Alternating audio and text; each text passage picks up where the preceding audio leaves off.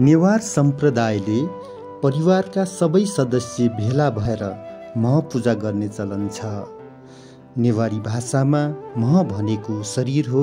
सम्पूर्ण समुदायद्वारा मनाइने मह पूजा नेपाली पर्वहरूमध्ये विशेष पर्वको रूपमा रहिआएको छ। आफ्नो शरीरलाई परआत्मा मानेर आफूले आफूलाई आराधना गरी शरीरभित्रको चेतनालाई पूजा गर्ने यस पर्वको दार्शनिक पक्ष रहेको छ। समग्र देवता ऊर्जा शक्ति विश्व ब्रह्माण्ड मानव शरीरभित्र रहेको विश्वास गर्दै परमेश्वरको बास हुने मान्यता राखी आफूलाई चिनेर बुझेर आफ्नो उद्धार आफै गर्नुपर्ने यो परम्पराको मान्यता रहेको छ। किम्बदन्ती अनुसार परापूर्व कालमा नेवार समुदायमा ठुलो दैविक प्रकोप परेको थियो। त्यसलाई धेरै मानिसहरूको क्षतिको कारण मानेको थियो। मानिसले आत्मसुरक्षाका लागि शरीरको पूजा गर्ने परम्परा प्रचलनमा त्यही बेला आएको प्रकाश पारिएको छ। प्रत्येक वर्ष नेपाल सम्बत अनुसार कार्तिक शुक्ल पक्ष प्रतिपदा तिथि तिथिमा नेवार परिवारमा परिवारको मुलीले परिवारका सबै सदस्यहरूको पूजा गरी हाँस वा कुखुराको फुल सगुन चढाइन्छ। शरीर शान्ति नभएसम्म आत्मशान्ति नहुने भएकोले मह पूजाको दिन शरीरलाई तान्त्रिक विधिबाट पूजा गरिन्छ।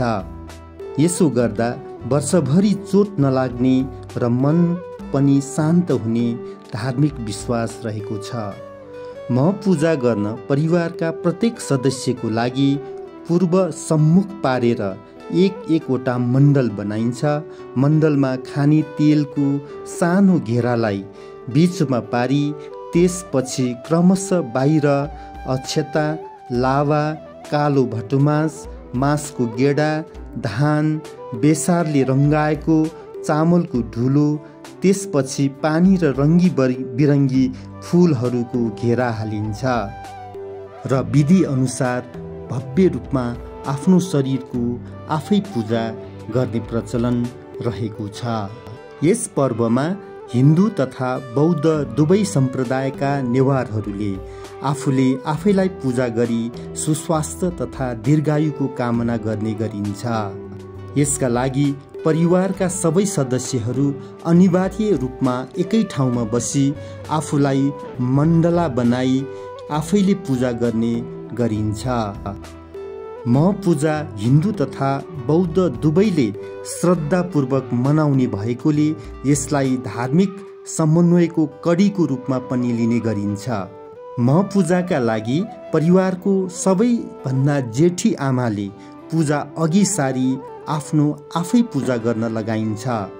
आफ्नो प्रतिबिम्ब सार मण्डलमा चित्रित गरी आफूलाई चिन्ने ज्ञान दर्शन प्राप्त गरी जीवन सुख आनन्दमय बनाउन र सुस्वास्थ्य तथा दीर्घायुको कामना गरिन्छ। नेवारी भाषामा मह भनेको शरीर हो। आफ्नो शरीरलाई परात्मा मानेर आफूले आफूलाई आराधना गरी शरीरभित्रको चेतनालाई पूजा गर्ने यस पर्वको दार्शनिक पक्ष रहेको छ। समग्र देवता ऊर्जा शक्ति विश्व ब्रह्माण्ड मानव शरीरभित्र रहेको विश्वास गर्दै परमेश्वरको बास हुने विश्वास गरिन्छ। महपूजा गर्नको लागि सर्वप्रथम घरको भुइँगलमा वा अन्य खुला कोठाको भुइँमा ढुङ्गाको धुलो प्रयोग गरी परिवारका प्रत्येक सदस्यहरूको लागि एक एकवटा मण्डल बनाइन्छ।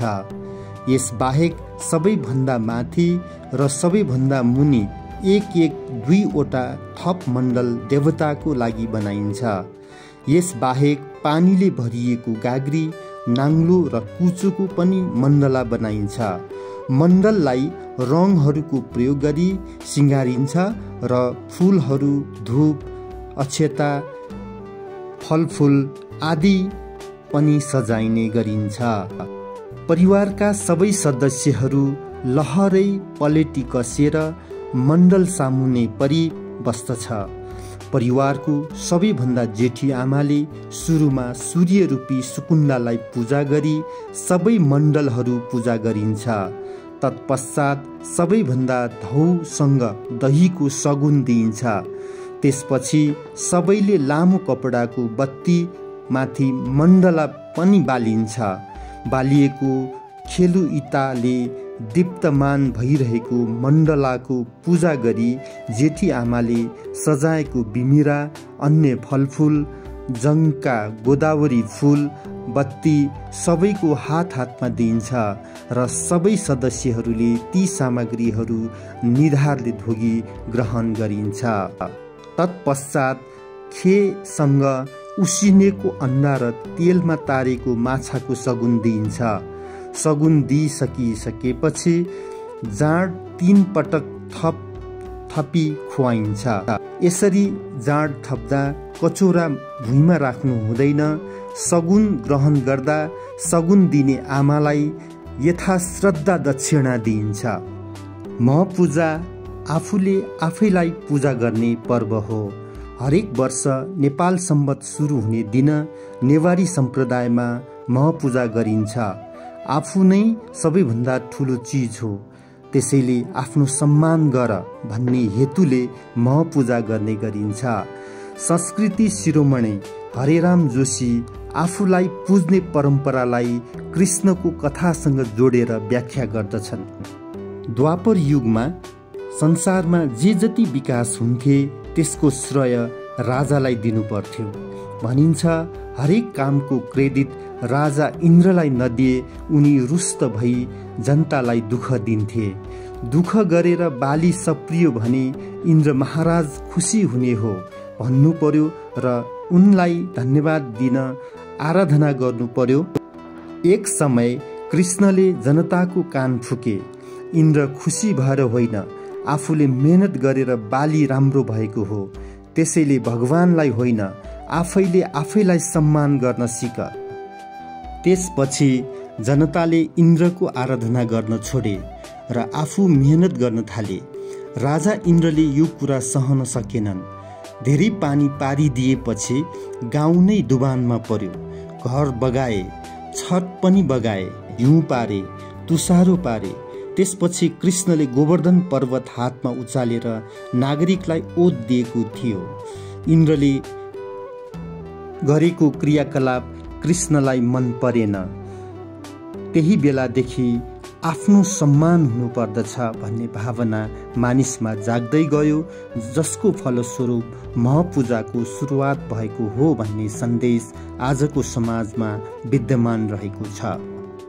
संस्कृतिविद पुरुषोत्तम लोचन श्रेष्ठका अनुसार महपूजा नेपालका नेवारहरूले मात्र मान्ने परम्परा हो।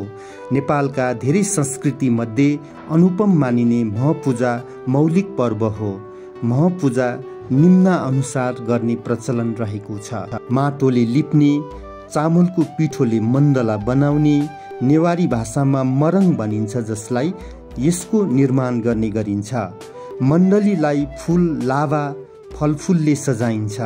मण्डललाई अगाडि राखेर बस्ने गरिन्छ। बत्ती बाल्ने अक्षता राख्ने ओखर राख्ने मुटुमारी राख्ने यो परम्परा रहेको छ। विद्वान पुरुषोत्तम लोचन श्रेष्ठ भन्दछन्। म पूजा नेपालको सम्बतभन्दा अगाडिबाट सुरु भएको हो। आफूले आफैलाई चिन्ने म नै ब्रह्मा हो म नै विष्णु हो म नै सर्वश्रेष्ठ हो भनेर स्वीकार्ने पर्व नै महपूजा हो। जे होस् यस्ता खालका पर्वले नेपालको मौलिकतालाई जोगाइराख्ने गर्दछ र महपूजाको दिन नै नेपाल सम्बत सुरु हुन्छ। नेपाल सम्बत नेपालको मौलिक सम्बत हो। यो सम्बत शङ्खधर साख्वाले जनताहरूको लोन मोचन गरी सुरुवात गरेका थिए। भक्तपुरका राजा राघवदेवको आज्ञामा बिस नौ सय छत्तिस र सन् आठ सय उनासी अक्टोबर बिसका दिन यो सम्बतको सुरुवात भएको तथ्य उल्लेख गरेका छन्।